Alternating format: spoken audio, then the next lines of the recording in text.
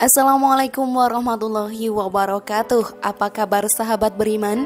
Selamat datang di Calm Channel Saat ini wabah virus corona tengah menjangkiti masyarakat Wuhan di Cina Pemerintah dan otoritas setempat di negeri tirai bambu tersebut tengah berusaha agar wabah ini tidak meluas. Dikutip dari beberapa pemberitaan, corona merupakan virus yang sangat berbahaya.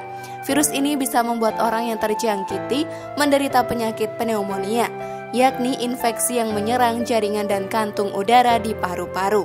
Seiring dengan merebaknya virus corona di Cina yang saat ini disinyalir berasal dari pasar seafood, diduga dari sup kelelawar dan juga kodok atau katak yang mereka konsumsi. Bahkan disebutkan, ternyata virus corona sudah tertulis dalam Al-Quran dan hadis. Lalu benarkah itu sahabat beriman? Dan inilah ternyata virus corona sudah tertulis di Al-Quran dan hadis versi dari Calm Channel. Namun sebelum lanjut, klik dulu tombol loncengnya supaya kita tetap bertebar syiar melalui channel ini. Mari berbagi pengetahuan dan ilmu yang bermanfaat. Amin. Ya Robbal Alamin.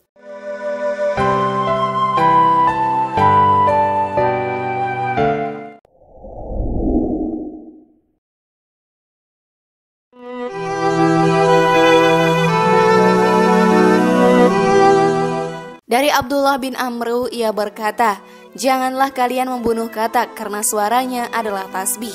Janganlah kalian membunuh kelelawar karena ketika Baitul Maqdis roboh, ia berkata, Wahai Rob, berikanlah kekuasaan kepadaku atas lautan hingga aku dapat menenggelamkan mereka.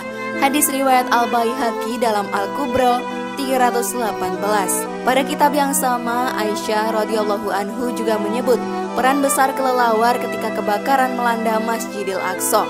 Diriwayatkan dari Aisyah tentang kelelawar, dia adalah hewan yang memadamkan api dengan sayap-sayapnya pada saat Baitul Maqdis dibakar.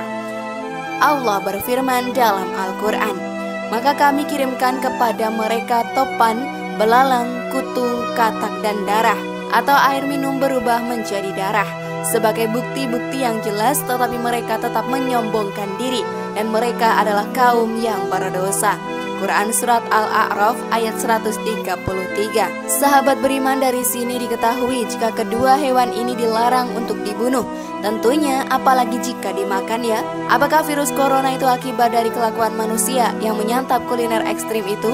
Bisa saja terjadi Karena santapan berupa hewan-hewan yang tidak lazim seperti ular, biawak dan juga termasuk seperti kelelawar dan katak dijual di sana bahkan dikonsumsi setiap hari Virus corona yang mematikan membuat kota Wuhan menjadi sorotan. Bahkan kota Wuhan sendiri juga diisolir agar tidak menyebar ke tempat-tempat lainnya. Kemudian di sampingnya ada penjual katak. Katak yang masih hidup juga terlihat di dalam ember tersebut. Tapi ada pula katak yang telah dipotong. Dagingnya disingkirkan namun diletakkan di ember yang sama dalam kondisi masih berdarah. Para ulama Syafi'iyah berpandangan larangan membunuh suatu hewan menunjukkan pola keharaman bagi kita untuk mengkonsumsinya. Logikanya hewan tersebut tidak mungkin dimakan sebelum terlebih dahulu kita membunuhnya.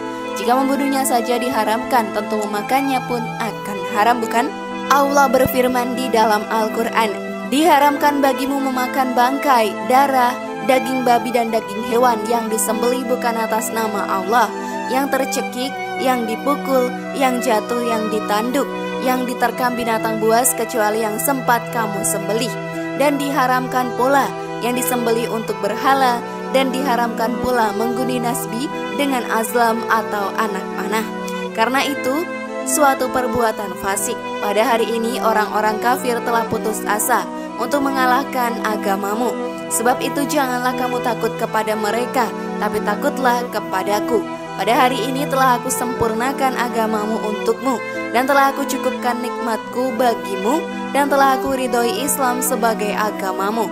Tetapi barang siapa terpaksa karena lapar, bukan karena ingin berbuat dosa, maka sungguh Allah Maha Pengampun, Maha Penyayang.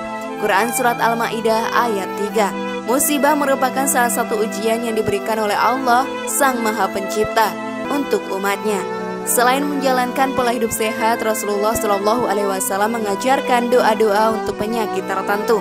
Meskipun setiap penyakit ada obatnya, beliau Shallallahu Alaihi Wasallam mengajarkan umatnya untuk senantiasa berdoa dan meminta perlindungan kepada Allah Ta'ala. Wallahu a'lam bisawab.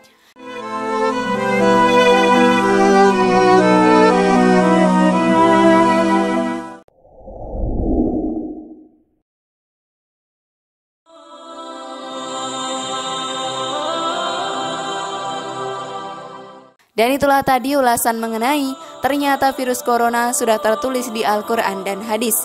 Bagaimana sahabat beriman? Masih ragukah dengan kuasa Allah Ta'ala? Semoga informasi tadi bermanfaat ya dan membuat kita berpikir lebih bijak. Mari bangun kaum channel ini dengan cara klik tombol subscribe, like, share, dan aktifkan tombol loncengnya. Wassalamualaikum warahmatullahi wabarakatuh dan jangan lupa tonton video yang lainnya ya.